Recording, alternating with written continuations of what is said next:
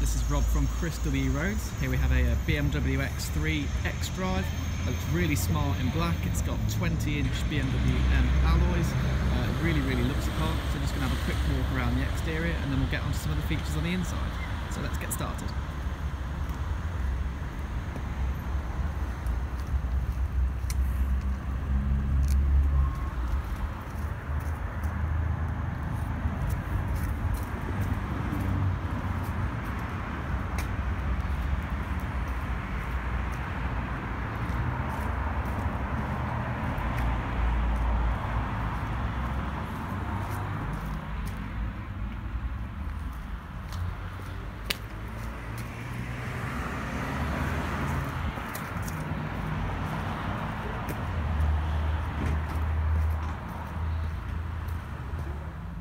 Okay, so now I'm just going to go through a few features on the inside of the car. So I've got audio volume Bluetooth there, and we've got cruise control here. If we just go over to the screen, uh, I'll be navigating the screen using the buttons and the dial here. So we'll just go back up so you can see what's happening.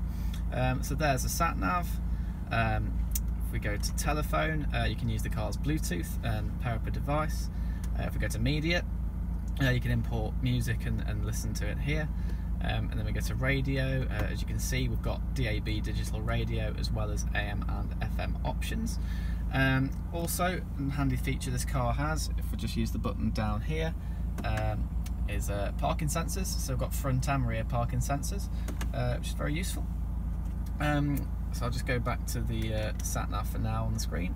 Come down here, we've got the uh, the dual zone climate control, so it can be adjusted on both sides independently. Uh, we've also got the driver side and passenger side seat heaters, uh, which is another nice feature. Um, also, if I use this button here where it says Eco Pro and Sport, I can change the uh, driving mode. So we can go to Eco Pro, um, we can go to Comfort, or we can go to Sport. Um, if we just come down here as well, we've got a, got a couple of cup holders, which is always uh, which is always handy. Um, this center console also opens for a bit of storage and the uh, auxiliary and USB ports are also there.